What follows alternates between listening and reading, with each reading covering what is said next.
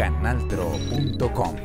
Hola, muy buenas tardes. Pues se dieron cita en la gobernación de Norte de Santander representantes de los colegios en diferentes municipios del departamento norte de Santander con el fin de recibir esta ayuda tecnológica que se viene entregando a través del proyecto Enjambre. Más de 300 tablets se entregaron hoy para desarrollar proyectos que se vienen realizando en diferentes establecimientos educativos del departamento.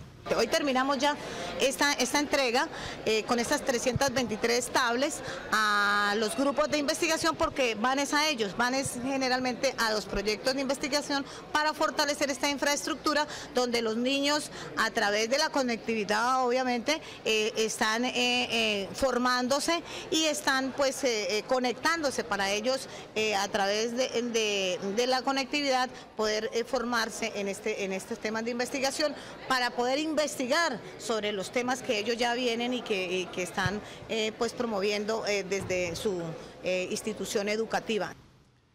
También reiteró su interés la doctora Marina Lozano por vincular al municipio de Cúcuta en este proyecto Enjambre y de todas estas eh, ayudas que llegan a las diferentes instituciones educativas. Por eso desde ya se están haciendo las gestiones para que el próximo año pueda ingresar la ciudad de Cúcuta a este proyecto.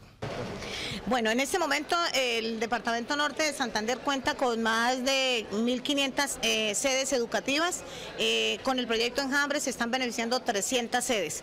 Eh, estamos también trabajando para Cúcuta porque pues la educación de Cúcuta es descentralizada, pero ya también estamos en la organización, ya estamos reajustando el proyecto que quedó también ya inscrito en el Fondo de Ciencia, Tecnología e Innovación para que llevemos también a esas 50 instituciones educativas de la ciudad de Cúcuta, también este proyecto Enjambre que lo estaremos arrancando mediante Dios el año entrante. Advirtió la secretaria de las TIC para el departamento que se trabaja de manera mancomunada con los eh, rectores de las instituciones educativas para evitar que se presenten inconvenientes con el eh, proyecto, con el sistema de Internet en los diferentes colegios. Por eso les hace una advertencia para que estén muy pendientes de que este servicio se presente de manera adecuada. Es toda la información que tenemos desde la ciudad de Cúcuta. Continúen ustedes con más Oriente Noticias. Muy buenas tardes.